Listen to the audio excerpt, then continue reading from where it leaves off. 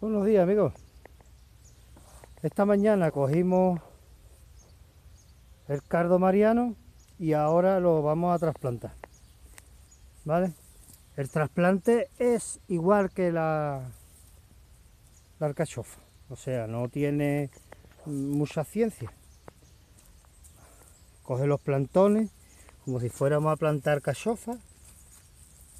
Abrimos un agujerito profundo porque como tiene un pullón muy largo, pues lo que vamos a hacer es introducir el pullón en ese boquetito y podremos ponerlo bien.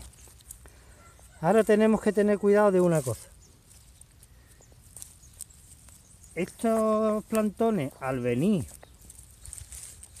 de, de un cultivo espontáneo, silvestre, pues tienen algún hongo.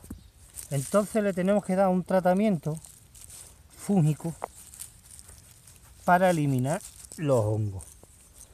¿Vale? Entonces le vamos a dar un baño de cardo sulfocálcico.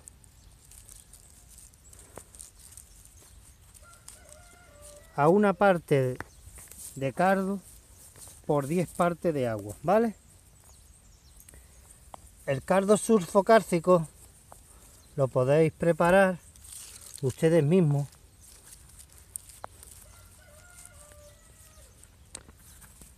Haciendo una cocción en una olla con 5 kilos de azufre y 250 gramos de cal. Y le echamos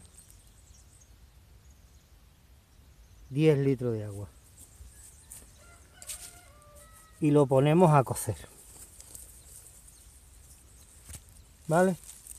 Cuando el cardo, estando cociendo, tenga un color rojo hierro, pues lo apartamos. Lo dejamos enfriar y lo colamos. Y este producto es el cardo sulfocálcico. Es uno de los mejores fungicidas que hay. ¿Vale? Bueno, espero que, que os guste. Aquí tenemos plantado una parte de cardo mariano. Me queda este lado. Y aquí veis la cubierta de conservación. Cubierta verde, o sea, abono. Abonado que lo corto con la máquina corta césped y lo entierro, ¿vale? Bueno, espero que os guste. Si os gusta, denle a me gusta y compartirlo con cuanto más mejor.